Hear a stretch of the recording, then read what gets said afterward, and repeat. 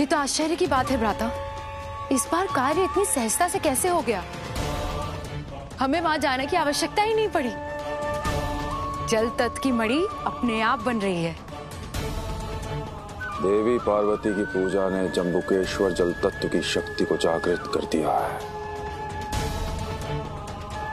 अब इससे पहले कि किसी और की दृष्टि इस पर पड़े, जा। जाकर इस मणि शक्ति को मेरे पास लेकर आ। जो आ गया भ्राता आजा। सहज रहकर अपना कार्य करना। महादेव और पार्वती के मतभेद समाप्त होते नज़र आ रहे हैं। जैसे जैसे उनके संबंध सुधरेंगे हमारी कठिनाइयाँ बढ़ेंगी। सत्य कहा माता। मेरी भी यही चिंता है। बस एक बार उस अंतिम महाभूत आकाश तत्व की मणि हमारे हाथ लग जाए। उसके पश्चात गुरु शुक्राचार्य की मत संजीवनी विद्या से उस महासुर का जन्म होगा और हमारी चिंताएँ सदैव के लिए समाप्त।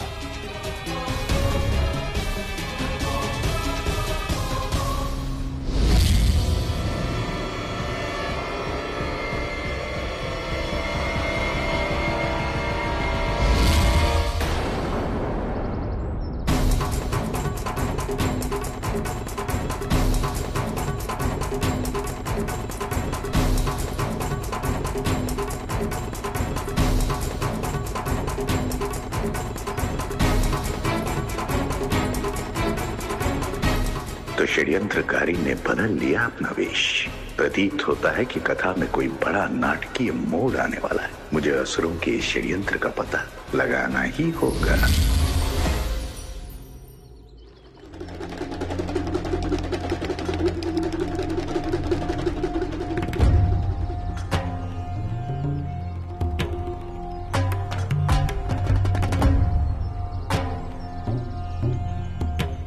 मित्र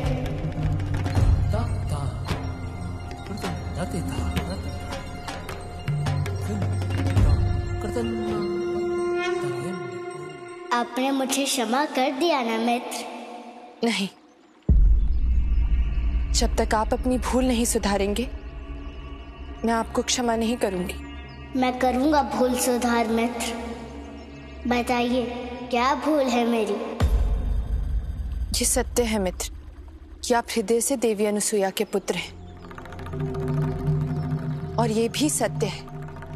कि अपनी विस्मृति के पश्चात भी आपको इस बात की अनुभूति है कि आप महादेव हैं। महादेव की अर्धांगिनी, महादेव के भक्त और समस्त देवी देवता आपको महादेव मानते हैं। आपके प्रति पूर्णता समर्पित है।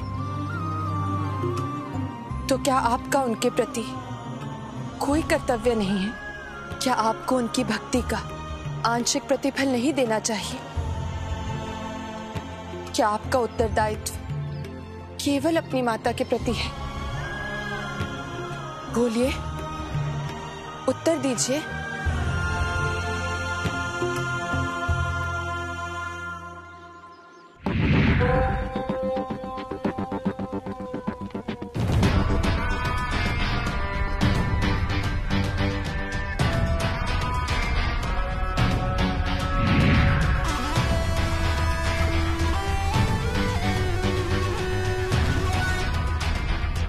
मुझे तेरी सफलता पे गर्व है, अजामुखी।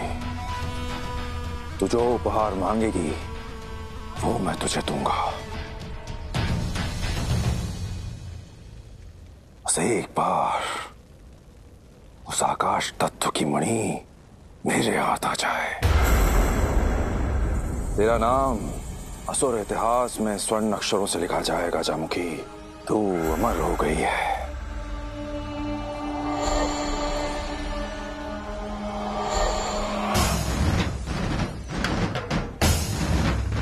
माता भस्मासुर के भस्म से जीवित होने वाले महासुर के स्वागत की तैयारी कीजिए। महासुर का असली स्वागत तो तब होगा तारका जब वो त्रिदेव के भस्म को ठोकर से उड़ाएगा। सत्य का माता।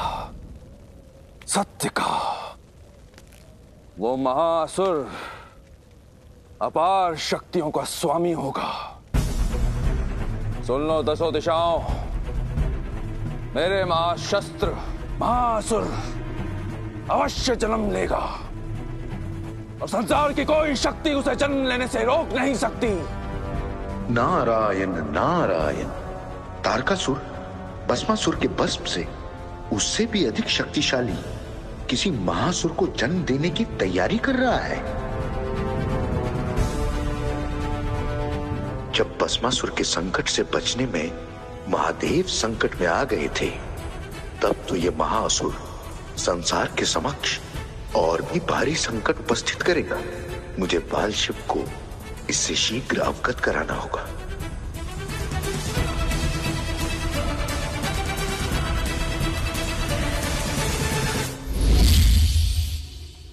यदि आपके पास उत्तर नहीं है तो आपको मुझे एक वचन देना होगा। कैसा वचन मित्र? जिस प्रकार आप अपनी माता, देवी अनुसुईया के घर के आँगन को अपना घर मानते हैं, ठीक उसी प्रकार आपको कैलाश और तीनों लोगों को अपना घर समझना होगा।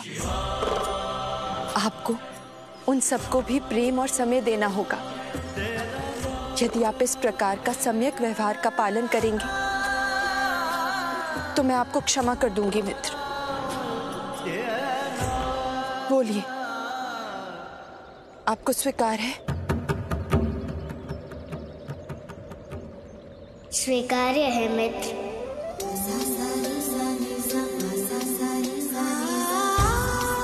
आपको स्वीकार है? तब मैं आपसे रुष्ट नहीं हूँ मित्र।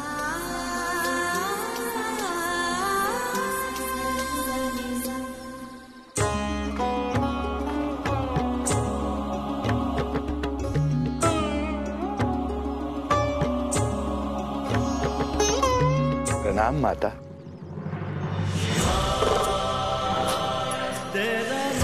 प्रणाम प्रभु। हमें पंच महाभूतों के पांचवे और अंतिम मंदिर की यात्रा पर निकलना चाहिए।